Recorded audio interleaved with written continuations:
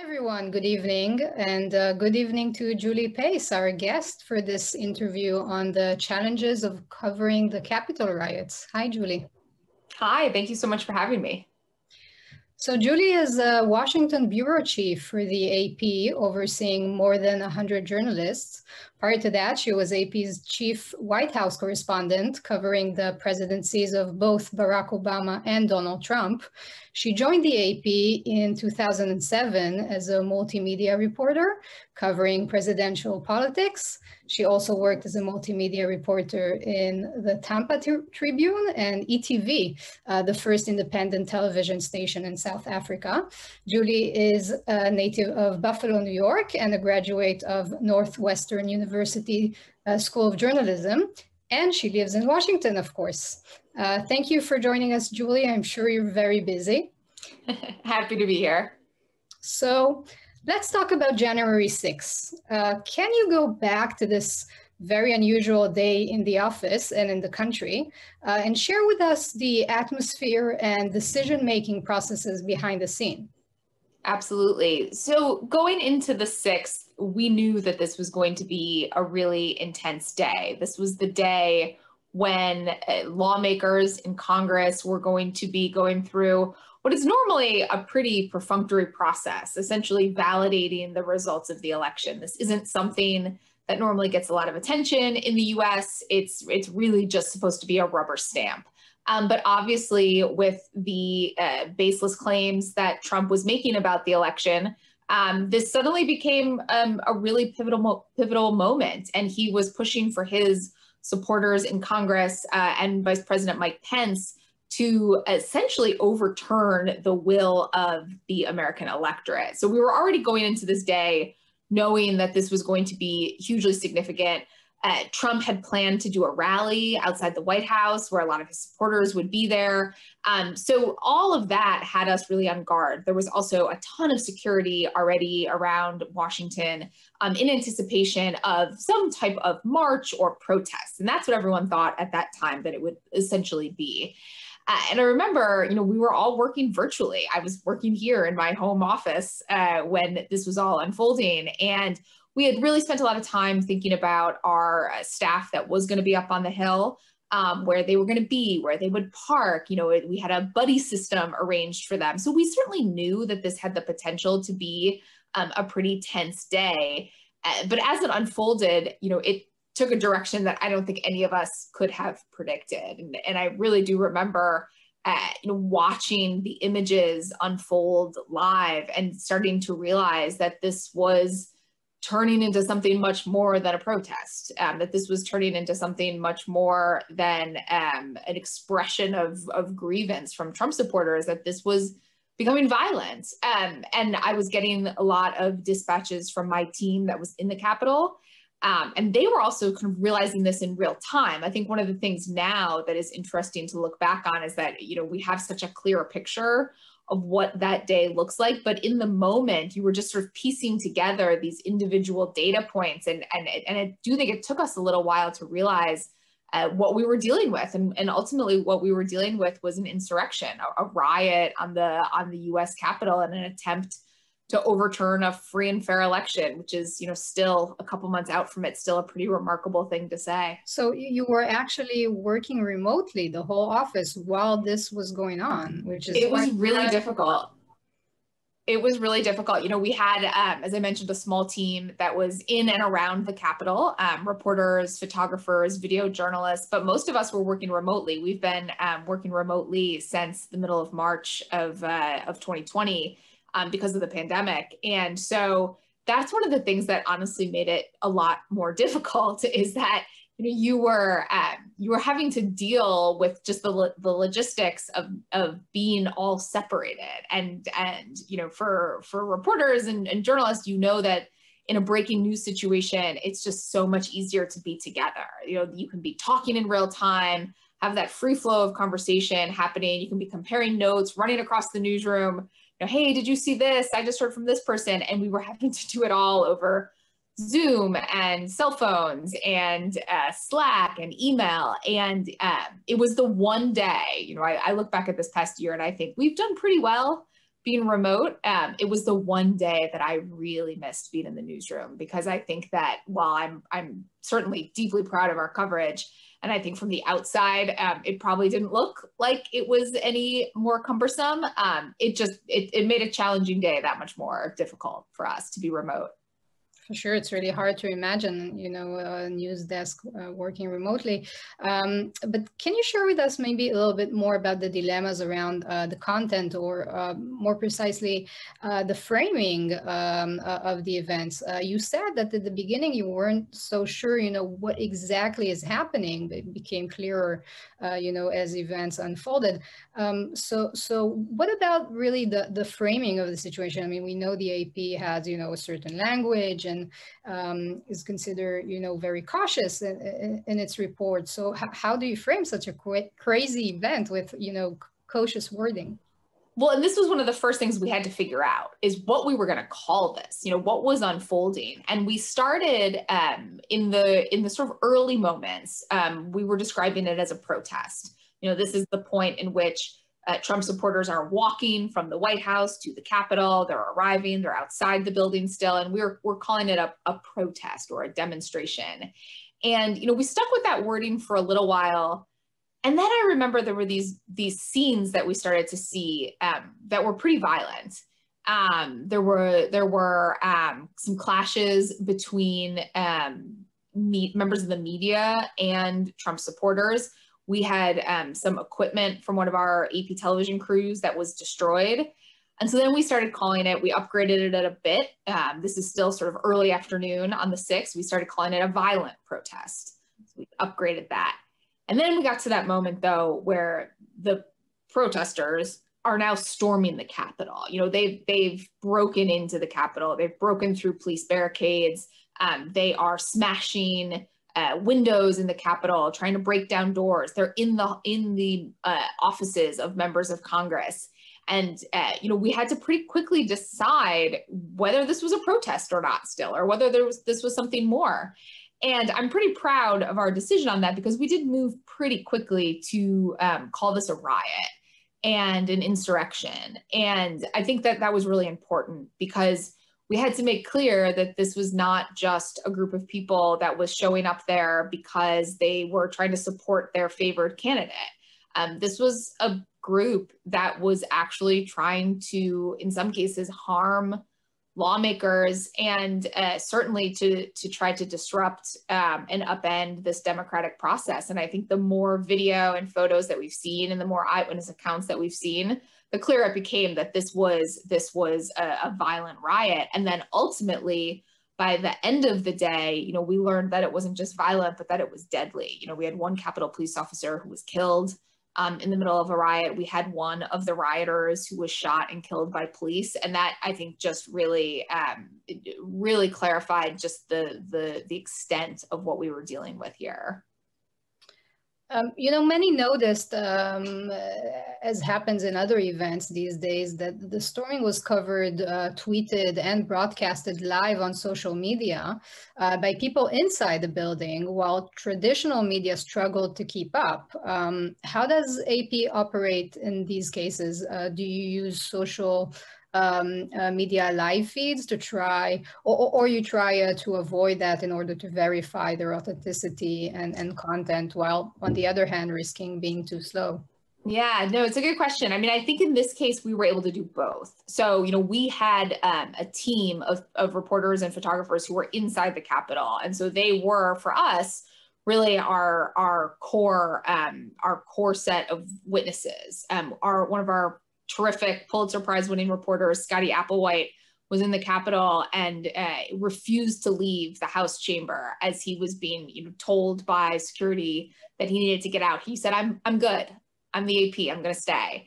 And so he really provided some of the, the, first images of the scene in there. So we were able to rely on him and other eyewitness accounts from our journalists inside. But actually, social media was just also this huge advantage that we and other news organizations had because you had lawmakers and staffers who were inside as well who were tweeting you know their accounts of what was happening tweeting photos and video of what was happening. And that's really how we were able to to start to get a, a picture of what this looked like inside. And so you know, I think actually it was one of those it was one of those days where um, having access to uh, so much social media content really I think worked to our advantage. Obviously, we tried to verify. Obviously, we tried to um, to not extrapolate from that um, imagery. But I think it was that combination of what we were hearing from our own team and what we were seeing from these lawmakers as they were really like in the moment. I mean, I remember some of those really powerful, powerful early images that we were seeing where you had lawmakers tweeting photos of themselves, you know, huddled, ducked down under their desks or ripping open gas masks, you know, that had been, uh, you know, taped under their chairs and never really used before. You know, it was seeing that imagery that I think really, again, clarified for us that this was so much more than a protest that was unfolding here. You also covered Trump's uh, presidency uh, as a reporter and as an editor. And um, I assume there were quite a lot of dilemmas regarding the appropriate ways to cover some of his uh, statements, which were let's say, it, you know, uh, blunt lies. And uh, we know some outlets chose to report uh, statements while fact checking them and highlighting disinformation, and others choose sometimes to ignore completely some of the statements and events. But uh, from here, it seems like um, the claims on election frauds and Trump's uh, imaginary winning, um, they were kind of treated with much more decisiveness uh, by the American press and social media platforms as well, of course, Twitter. Um, so suddenly, most outlets uh, agreed that these lies uh, needed to be uh, framed very clearly as such. Um, was there a similar process in AP? Uh, how did you treat these lies during the presidency, maybe versus the election steal campaign? Yeah, no, it's a good question. And I, I think, you know, it was an evolving process, I think, for a lot of us in the media. I think that there is a, you go into covering any presidency, um, wanting to treat the president with some measure of respect, um, respect, it's respect for the office. Um, and you also look at your job as a reporter covering the presidency uh, to certainly try to hold the president accountable um, and to provide context and fact checking. Um, but you also go in expecting that the office of the presidency is going to have the same amount of respect for the truth and the facts. You know, we all go in knowing that they're going to try to spin a version of events to favor them but I, I, I can't remember a time you know before the Trump presidency where there was sort of such little regard for uh, for the the facts. Uh, and I do think that that actually was a little bit of a learning curve for those of us in the media to sort of realize we were not dealing with uh, a traditional administration here, to realize that we could do all the fact checking that we wanted and and the press office and the president didn't care you know, I mean, you know how it is sometimes if you do a fact check on something that a politician says over and over again, and you keep saying, this is false, this is false. Oftentimes they will back away from it because they want to be believed. They don't want to be um, seen as somebody who is peddling misinformation.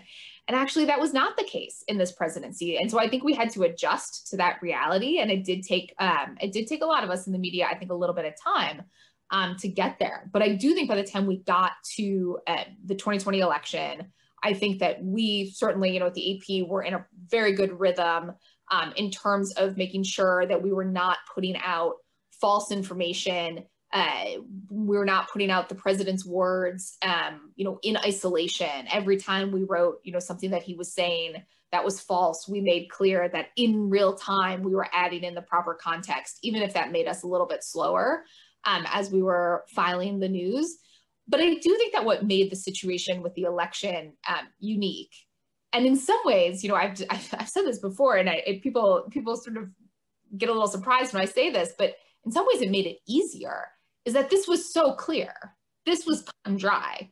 Joe Biden won the election, and Donald Trump lost the election. And state officials across the country were verifying those results, including several Republican officials in key states like Arizona and Georgia. You had Attorney General Bill Barr, you know, who was a close ally of President Trump, the top law enforcement official in the country, saying, look, there's no sign of fraud, widespread fraud in this election. You had courts across the country uh, with judges, including several that had been nominated by President Trump, who were rejecting these lawsuits over and over and over again. So in some ways, this was the easy one. It was so clear the facts were only lining up on one side of the equation.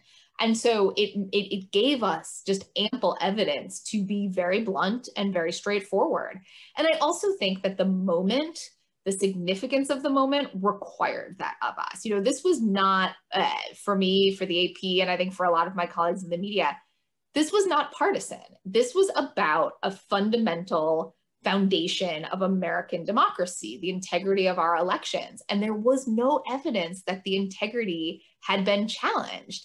And the only way that it was being challenged was in President Trump's words. And so we we had to be crystal clear. Again, not because we were opposed to him, but because this was so foundational to our democracy. And so while I I am uh, I am sorry, I certainly do not look back at that time um, as uh, as an easy, quiet period of time. The decision to come down so forcefully on the side of the facts that that was easy. That was the right thing to do. Clearly.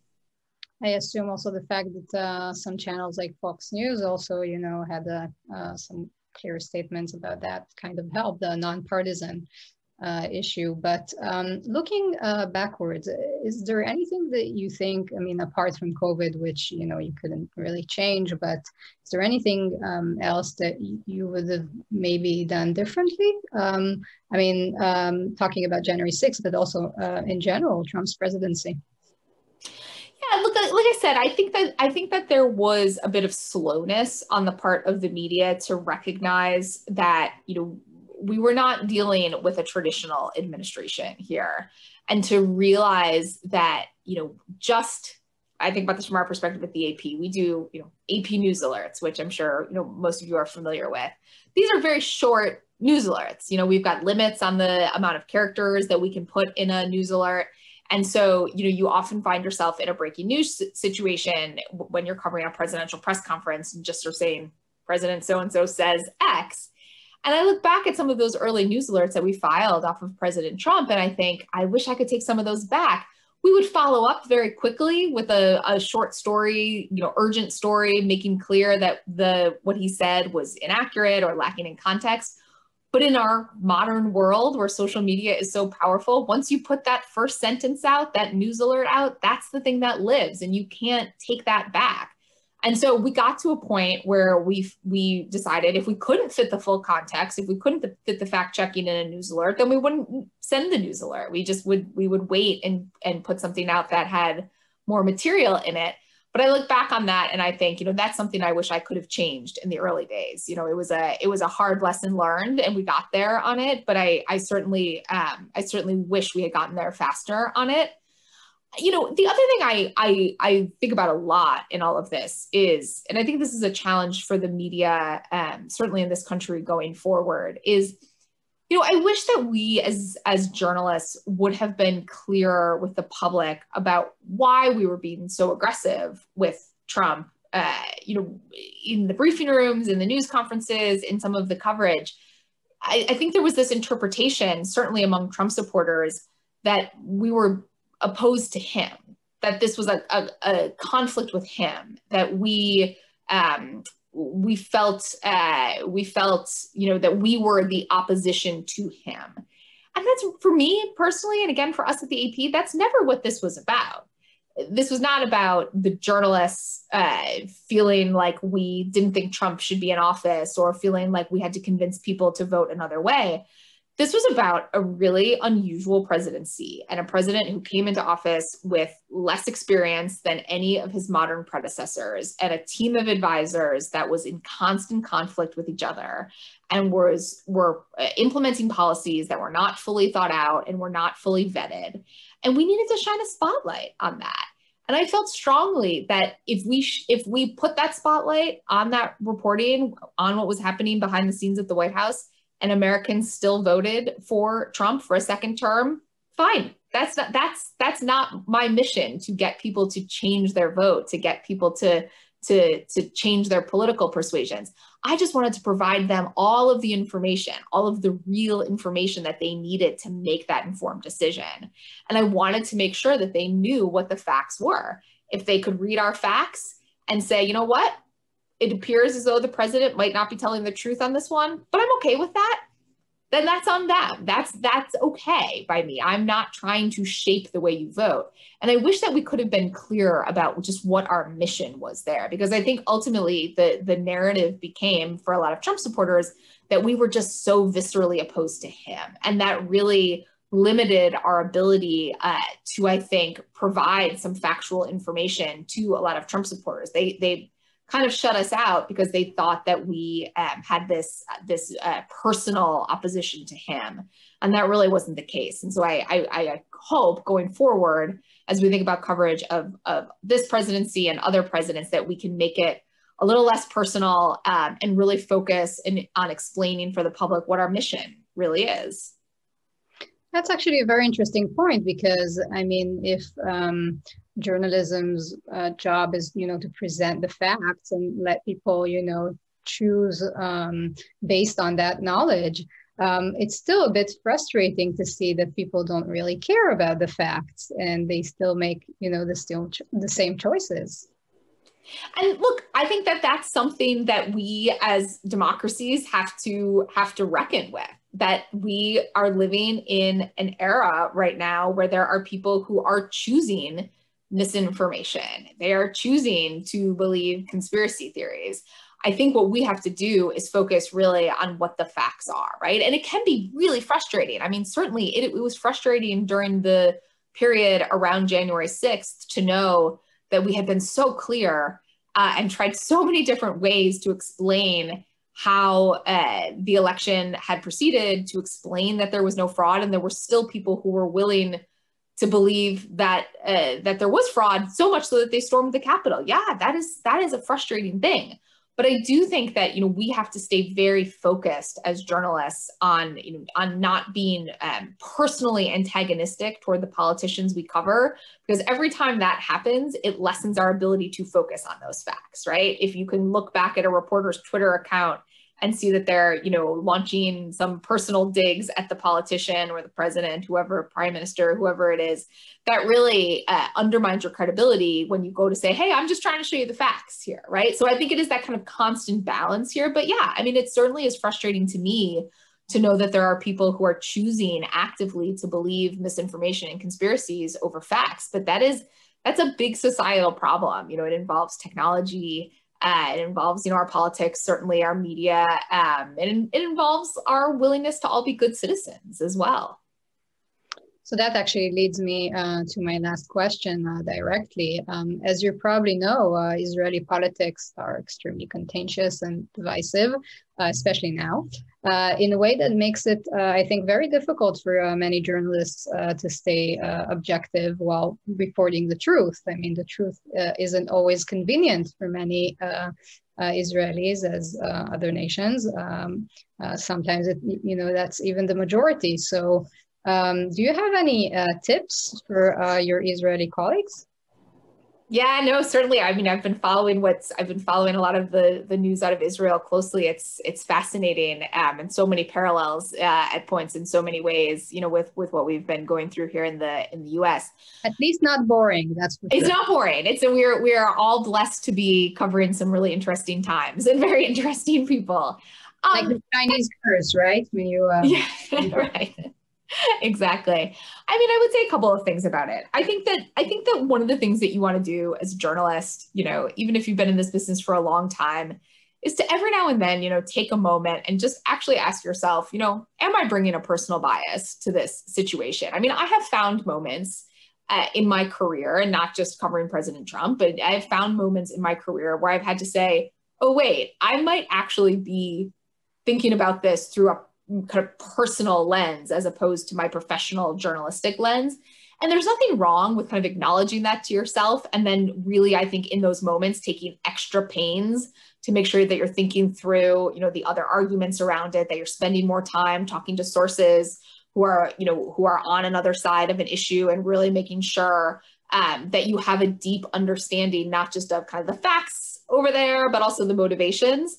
Um, I also think sometimes, you know, we've all we've all um, been in situations where sometimes journalists realize that they no longer can keep their personal opinions or biases you know to themselves. And maybe it is time to to move on. Um, but for those of us who who want to stay in the game you know i think it's really um, it's really important to be aware that we all do come to the table with with some biases. We're human beings. This is a human enterprise. We all have our own experiences. Um, and then as i said to spend just extra time really making sure that you are doing the reporting the legwork uh, to understand, you know, parts of an issue that might not come as naturally to you.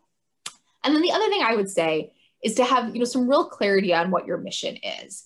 The way I always explain it to our newsroom is exactly, you know, as I said it to you earlier here. My mission is not to influence how people vote. My influence, my my job is not to influence uh, whether you support a certain politician or not.